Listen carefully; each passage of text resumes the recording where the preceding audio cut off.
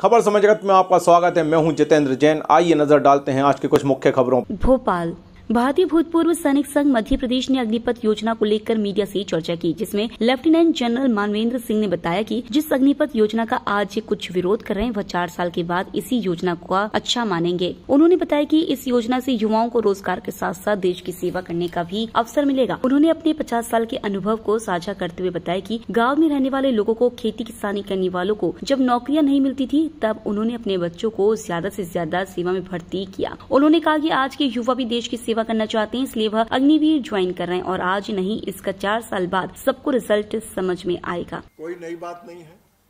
Hybrid war का मतलब है conventional war plus unconventional war plus asymmetries हर डायमेंशन एसिमेट्रीज का मतलब फाइनेंशियल एसिमेट्री टेक्नोलॉजिकल एसिमेट्री मतलब किसी भी देश के साथ उनका ज़्यादा ऊँचा है हमारा कम है तो वो भी एक थ्रेट का माध्यम बन जाता है। ऐसे बहुत सारे थ्रेट्स आजकल बन गए और अगर आप गाज़ा वॉर और बाकी सब जगह पर थोड़ा सा ध्यान दे रहे हैं तो आप देखेंगे कि इतने नए पहलू खुल गए हैं, इतनी ज़्यादा टेक्नोलॉजी आ गई है कि अगर हमारा सैनिक, भारत, भारतीय सैनिक उस काबिल नहीं होगा कि इस नए टेक्नोलॉजी को नए तरीके से इस्तेमाल कर सके तो शायद हम पिछड़ जाएँगे। इस बात का भी हमको ध्यान रखना है।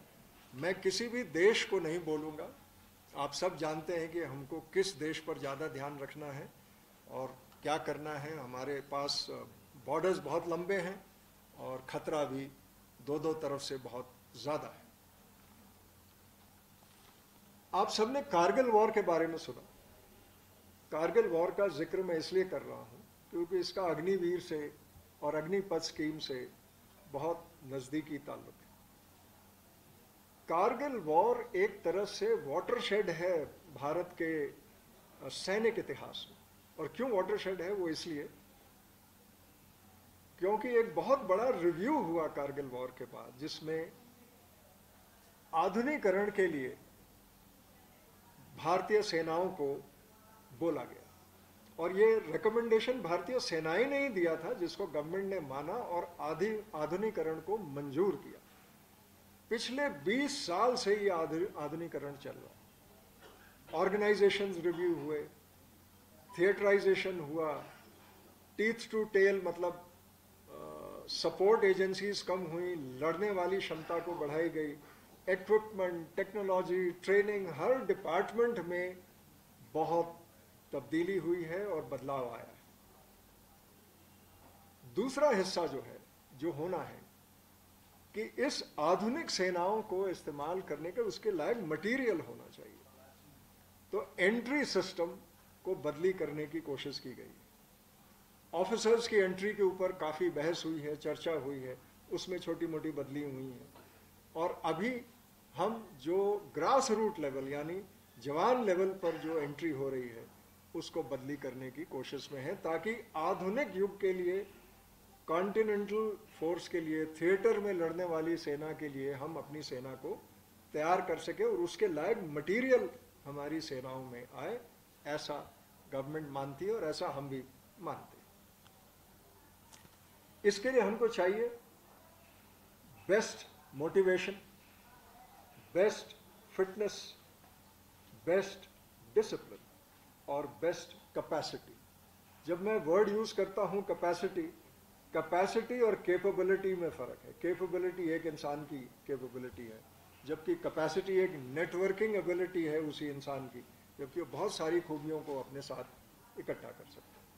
कारगिल वॉर में याद रहे कि जो बहुत कमी नज़र आई थी और हमने तमाम हाल्टीट्यूड एरियाज़ में देखा है कि उम्र बहुत इंपॉर्टेंट है और ये समझ लीजिए कि 40 साल से ऊपर के लोग जो होते हैं और ज़्यादा सुपर हाई ऑल्टीट्यूड यानी 12,000 से ऊपर के इलाके में जब जाते हैं तो उनको बीमार होने के चांसेस ज़्यादा है। ये नज़र आया था और इसकी वजह से ये सब रिव्यू हुआ है। कुछ बातें जो फैली हुई हैं सोशल मीडिया में ख़ास तौर पे मास मीडिया में बहुत कम है। वो है कि सिलेक्शन क्राइटेरिया बदली हो गया। सिलेक्शन क्राइटेरिया में कोई बदली नहीं है। सिलेक्शन क्राइटेरिया उतनी ही स्ट्रांग है जितनी पहले थी। लेकिन फ़र्क इतना है क्योंकि यंगर एज के लोग आ रहे हैं। उसके अंदर ट्रेनेबिलिटी इन यंग लोगों की ज़्यादा है और ज़्यादा अच्छी है क्योंकि इनकी काबिलियतें बहुत हैं। कुछ एडवांटेजेस जो कि खाली एक शब्दों में मैं आपको बयान कर दूँगा। आप सब जानते हैं कोई नई बात नहीं है। जैसे कि अफसरों में है, एक रेगुलर स्ट्रीम है, एक शॉर्ट सर्विस स्ट्रीम वैसा ही तकरीबन एक सिस्टम यहाँ पे भी चालू किया जा रहा है, जिसमें एक शॉर्ट सर्विस स्ट्रीम है। लोग आते हैं, कुछ साल के लिए सेवा करते हैं गवर्नमेंट की, सेना की, नई चीज़ों को सीखते हैं और बाहर जाके अपने और काम करते हैं। ऐसे मेरे पास कई उदाहरण हैं निजी तौर पर।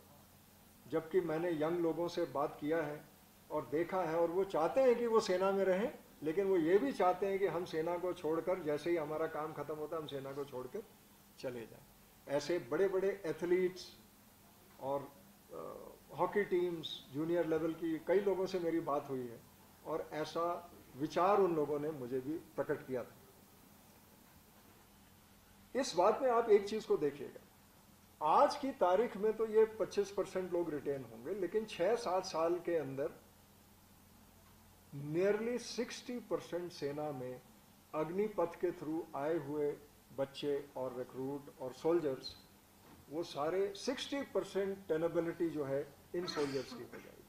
तो अपने आप थोड़ा वक्त लगता है, एकदम से हर चीज़ बदली नहीं की जा सकती। कुछ समय पहले एक गाँव में था मैं इधर ही, नज़दीक में। कुछ बच्चों से मेरी बात चल रही थी कि क्या करोगे, क्या बनोगे, इस तरह की बातचीत। अब ये सब लोग थे जो कि अभी बीए प्रोग्राम ज्वाइन ही किया था। यानी बारहवीं करके अगली शिक्षा ले रहे थे।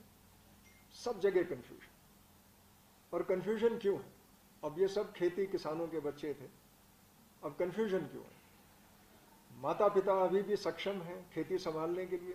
बच्चे को खेती हैंडओवर नहीं हो रही। अब वो करे तो क्या करे?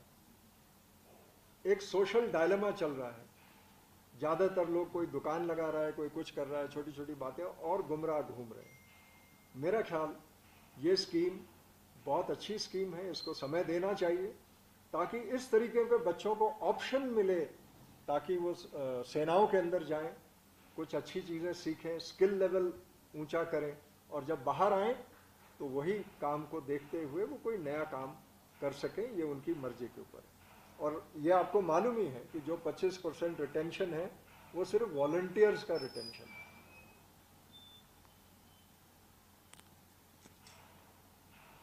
नेशन बिल्डिंग एक हम लोगों का मानना ये भी रहा है और मेरा ये मानना बहुत पहले से रहा है कि जब इस तरीके के बच्चे बाहर जाएँगे तो हर डायमेंशन में इनका कंट्रीब्यूशन होता है।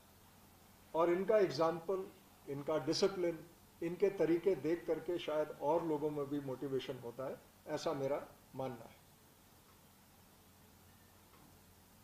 एम्प्लॉयबिलिटी बढ़ेगी इन लोगों की? ये गलत धारणा है कि इनकी एम्प्लॉयबिलिटी चार साल के बाद क्या होगी। मेरा ख्याल इतनी चीज़ें ये सीख जाएँगे कि इनकी एम्प्लॉयबिलिटी बढ़ेगी। और कुछ कमेंट्स ऐसे भी मैंने पढ़े हैं जिसमें कि दो तरह के ग्रुप हो जाएँगे। एक पुराना सैनिक, एक नया सैनिक, अग्निवीर। मेरा ख्याल जो हमको बात समझनी चाहिए कि जब दोनों मिलेंगे तो दोनों की बेस्ट क्वालिटीज इतना तो भरोसा करिए सेना की लीडरशिप में कि दोनों की बेस्ट क्वालिटीज को संगठित करके ये सेना चलेगी। कुछ चैलेंजेस ज़रूर रहेंगे। ये चैलेंजेस जो मेरी समझ में आते हैं लीडरशिप के लिए बहुत चैलेंज है कि नए और पुराने तरीके से आए हुए लोगों को संगठित करना, एक दूसरे पर भरोसा डालना कमराडरी बढ़ाना, ये उनके लिए एक चैलेंज है। आई एम श्योर कि इसको ये लोग कर लेंगे। दूसरा है फियर और यही एक जगह है जहाँ पर मेरे को आप लोगों से खास तौर पर बात करनी है कि जो भ्रमित करने वाली बातें सोशल मीडिया में घूम रही हैं, वो एक फियर पैदा कर रही है इन नए अग्निवीरों के दिमाग में कि हमारा चार साल के बाद क्या होगा। ऐसा करके बहुत लोग कह रहे हैं। मैं ये कहना चाहता हूँ कि गवर्नमेंट इस बात पर, और हम लोगों ने देखा है क्योंकि पॉलिसीज़ पढ़ी हैं दृढ़ संकल्प है कि इनका पूरा पूरा जो है यूजफुलनेस देश के लिए कहीं ना कहीं इनको एम्प्लॉयमेंट दे करके होगी। और कई ऑर्गेनाइजेशंस ने कमिटमेंट दे दी है और मेरा ख्याल ऑलरेडी ये 75-80 परसेंट पे पहुँचा हुआ है और 158 ऑर्गेनाइजेशंस और हैं जिन्होंने कमिटमेंट दी है, जो कह रहे हैं कि अग्निवीरों को हम, आप अगर दिल्ली से आगरा ऐसे सड़कों पे जब हम इधर से आते जाते थे तो देखते थे। हज़ारों की संख्या में बच्चे दौड़ रहे हैं एक्सरसाइज कर रहे हैं। एक उत्साह है कि हम सेना में जाएँगे। ठीक? तो वो उत्साह तो नीचे लेवल पे बढ़ा है। लेकिन आपकी बात है कि इनका कंट्रीब्यूशन जो अग्निवीर ऑलरेडी आ गए हैं, कितना है सेना? राइट प्री है थोड़ा हमको ये कहना। क्योंकि अभी तो दो ही साल हुए हैं। दो साल में से एक साल तो उनकी ट्रेनिंग का ही था छः महीना। ठीक है अभी अभी आए हैं, अभी चले हैं धीरे धीरे उनको एक्सपीरियंस की लाइन पर लाया जा रहा है और हो रहे हैं। और मुझे यकीन है, जो मैंने कुछ अफसरों से बात करी इधर पर आने से पहले, जो मैंने बात करी यंग ऑफिसर्स के साथ में, कि भाई तुम्हें क्या लगता है? तो उनके साथ सीधा सीधा ये है कि लड़के बहुत अच्छे हैं, बहुत अच्छे सोल्जर्स बनेंगे जैसे जैसे एक्सपीरियंस हो जाएँगे, उनके पास काबिलियत बहुत तगड़ी बन जाएगी। और ये लोग चीज़ों को बहुत जल्दी पिकअप करते हैं। मतलब इनमें ये नहीं है कि आराम से चल रहा है, सब कुछ धीरे धीरे हो रहा है। बहुत जल्दी पिकअप करते हैं। आजकल के आधुनिक बच्चे हैं ये। और एक बार ये पिकअप कर लेंगे, सीख जाएँगे और एक्सपीरियंस हो जाएगा। मानिए मेरी बात कि ये बहुत अच्छे सैनिक बनेंगे और भारतीय सेना को इससे लाभ ही होगा, कम नहीं होगा। और पाँच छः साल के बाद देखिए तो फ़र्स्ट इंडक्शन है, जो अभी चार साल चलेगा। उसके बाद हर साल इंडक्शन होता ही चला जा रहा है। छः सात साल के अंदर आप इस परिवर्तन को देखेंगे। ऐसा मैं मानता वो 20 साल इसको लाइन में लाने में लगा है। हर चीज़ को करने में लगा है। वो 20 साल। इसलिए मैं कारगिल को मैं एक वाटर शेड मानता हूँ पर्सनल तौर पे, क्योंकि उसी के बाद ये सब कुछ शुरू हुआ। है और मेरे को यकीन है कि ये आगे चल के ठीक हो जाएगा। कुछ कमियाँ ज़रूर आएँगी, सामने आएँगी, जैसा आप बता रहे थे। और उनको एड्रेस करने के लिए कानून बनेंगे, तरीके बनेंगे सिस्टम बनेगा, ऐसी कोई बात नहीं। बनेगा। इस बात पे आपको भरोसा होना चाहिए।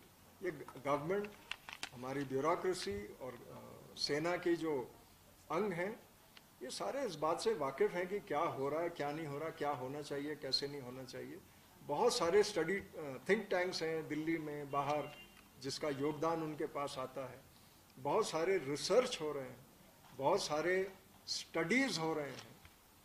दोनों स्टडी रिसर्च में फ़र्क है, आप सब जानते हैं। तो सब कुछ हो रहा है, लेकिन थोड़ा सा प्री मेच्योर है, आज की तारीख में मैं हर एक चीज़ का जवाब दे दूँ, ऐसा तो थोड़ा कहना मुश्किल है।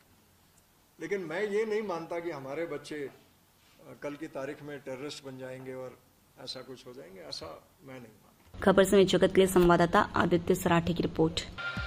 For latest news subscribe to channel and press the bell icon